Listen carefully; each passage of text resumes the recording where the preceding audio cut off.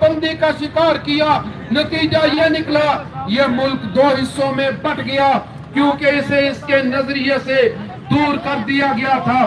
بنگال کا مسلمان ہو، چاہے پنجاب کا مسلمان، سندھ کا مسلمان ہو، یا بلوچستان کا مسلمان، کشمیر کا مسلمان ہو، یا خیبر پختونخوا کا مسلمان، ان سب کو جمع کرنے والی، اکٹھا رکھنے والی چیز ایک ہی تھی۔ وہ ہمارا نظریہ لا الہ الا اللہ محمد رسول اللہ تھا۔ لیکن افسوس کی بات یہ ہے، اس ملک کو حصوں میں تقسیم کر دیا گیا، ٹکڑوں میں بانٹ دیا گیا، علاقائیت اور صبائیت کی بین چڑھا دیا گیا۔ لیکن اس ملک کے لے کے چلنے والوں نے یہ بات نہ سوچی۔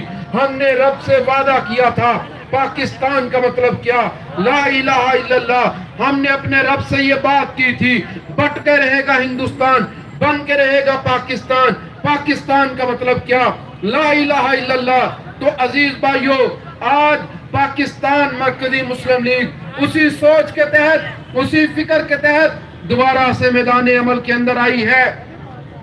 ہم نے یہ بات طے کی ہے، انیس سو چھ میں بننے والی مسلم لیگ جو آل انڈیا مسلم لیگ تھی، جس کا قیام ڈاکہ میں عمل میں لایا گیا تھا، انشاءاللہ ہم اپنے ملک کو اس لا الہ الا اللہ کی جاگیر دوبارہ سے بنائیں گے، جو پاک آل انڈیا مسلم لیگ کا نعرہ تھا۔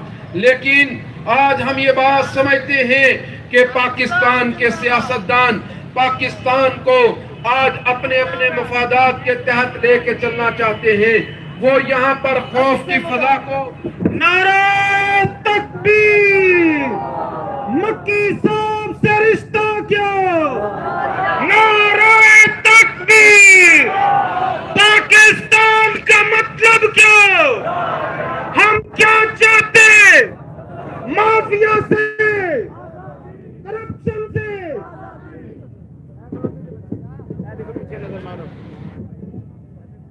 عزیز بھائیو، آج وقت آ گیا ہے، ہم دوبارہ سے اس نعرہ کو لگائیں۔